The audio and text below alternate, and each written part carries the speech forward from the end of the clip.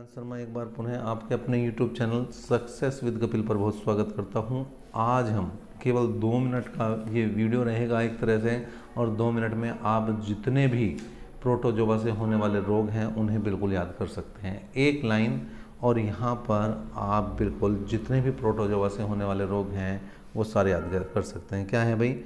मेरी जांग पर काला सोना पाया।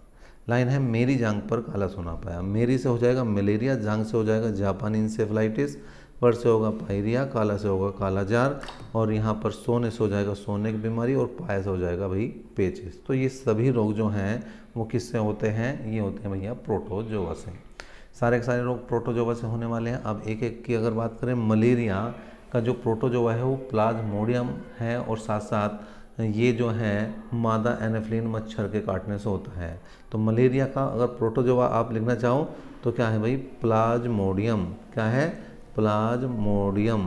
प्रोटोजोवा जो है, वो हो जाएगा भैया, प्लाज्मोडियम किसका? मलेरिया का। जापानी इंसेफ्लाइटिस की अगर बात करें तो जापानी इंसेफ्लाइटिस के लिए प्रोटोजोवा ओरशी है। कौन सा प्रोटोजोवा है? ओरशी इसका प्रोटोजोवा है। साथ साथ अगर यहाँ पर बात करें तो तंत्रिका तंत्र प्रभावित होता है। क्यूलेक्स मच्छर के काटने से ये बीमारी होती है और क्यूलेक्स मच्छर जो पनपते हैं, वो कहाँ पनपते हैं? वो धान के खेत में जल्दी पनपते हैं, अधिक पनपते हैं।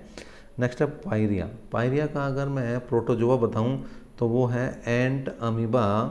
क्या है भैया? Entamoeba gingivalis gingivalis Entamoeba gingivalis protozoa है किसका पायरिया का साथ साथ दांत में होने वाली बीमारी है ये। दांत, दांतों को परेशान करती है आपके तो यहाँ पर आप विटामिन सी का प्रयोग करें। नेक्स्ट बीमारी है काला जार। अगर काले जार की बात करें तो इसका प्रोटोजोवा है lease mania donovani. Lease mania donovani इसका प्रोटोजोवा है। और ये बालू मक्खी के द्वारा फैलता है। नेक्स्ट अगर रोग की बात करूँ, मैं सोने की बीमारी है और इसका प्रोटोजोवा है ट्रिपे ट्रिपेनोसोसा क्या प्रोटोजोवा है इसका? ट्रिपेनोसोसा इसका प्रोटोजोवा है और ये शीशी मक्खी के द्वारा फैलता है। शारीरिक और मानसिक निष्क्रियता इस रोग में आ जाती है।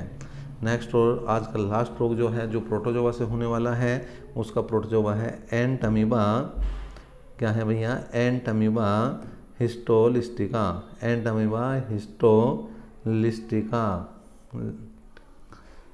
तो ये जो है प्रोटोजोआ आपका किसका है? पेचिस का है। बड़ी आंत इससे प्रभावित होती हैं। तो इस तरह से हमने देखा कि केवल एक लाइन में आप बड़े ही आसान तरीके से जितने भी प्रोटोजोवा से होने वाले रोग हैं, उनको याद कर सकते हैं। आपको ये प्रयास कैसा लगा, ये हमें बिल्कुल कमेंट बॉक्स में कमेंट करके बताएँ। साथ साथ वीडियो को लाइक करें ज़्यादा से ज़्यादा और शेयर करें ज़्यादा से ज़्यादा। और अगर आप पहली बार हैं चैनल पर तो चैनल को सब्सक्राइब कर कर जाएँ। अगर आपको ये वीडियो अच्छा लगा है, अभी तक के लिए इतना ही। नेक्स्ट वीडियो तक के लिए